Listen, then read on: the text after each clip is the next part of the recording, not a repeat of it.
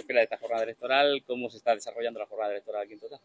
Bueno, de momento la jornada electoral se está desarrollando con total normalidad, aunque hace escasos minutos que ha empezado esta jornada, pero la verdad es que sobre todo el clima, que era la mayor preocupación por esas posibles lluvias que se pueden dar durante el día, nos está respetando, está haciendo un sol que yo creo que es un sol que también viene a ser un reflejo de lo que va a pasar a partir de hoy y desde luego el ambiente es muy optimista. Creo que hoy Totana tiene una oportunidad de reafirmar un proyecto seguro, de reafirmar a un nuevo grupo de personas que ha demostrado de lo que es capaz al frente del Ayuntamiento de Totana, pero también de lo que ha sido capaz durante todo este periodo de precampaña y campaña electoral, haciendo un proyecto serio para nuestro municipio. Eh, componiéndose de personas que han demostrado que están totalmente capacitadas para asumir la rienda de este ayuntamiento y de este municipio y por eso yo creo que sin duda hoy el pueblo de Totana tiene una gran oportunidad para que todos juntos de la mano elijamos ganar.